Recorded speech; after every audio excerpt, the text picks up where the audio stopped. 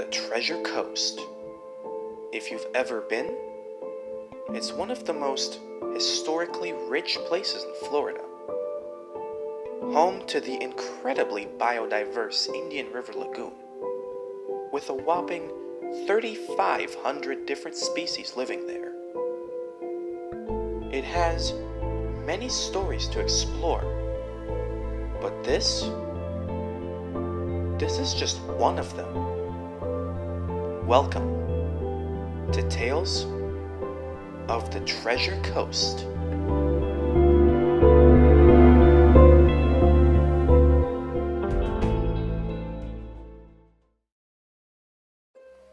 Jonathan Dickinson was a merchant from Jamaica, born in 1663.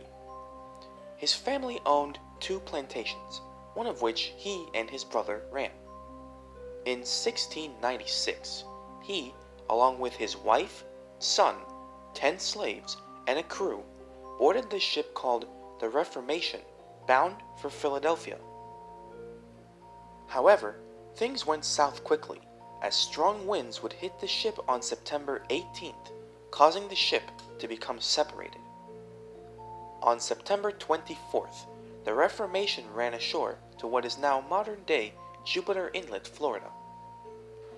By that point, many of the passengers were either sick or injured.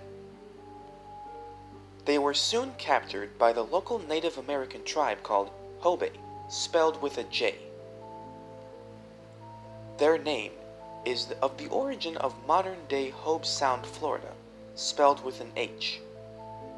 They were soon released from capture after crewman Solomon Cresson convinced them that they were Spanish and not English, who were enemies at the time. The party soon headed to St. Augustine, walking a whopping 230 miles across 49 days. Dickinson's party eventually made it to Philadelphia after a brief stop in modern day Charleston, South Carolina, where Dickinson became mayor of Philadelphia. Thanks for watching. If you liked this video, check out the video on the top about the shipwreck of the 1715 Spanish treasure fleet. Or check out the bottom video about the famous pirate from these waters, Don Pedro Gilbert.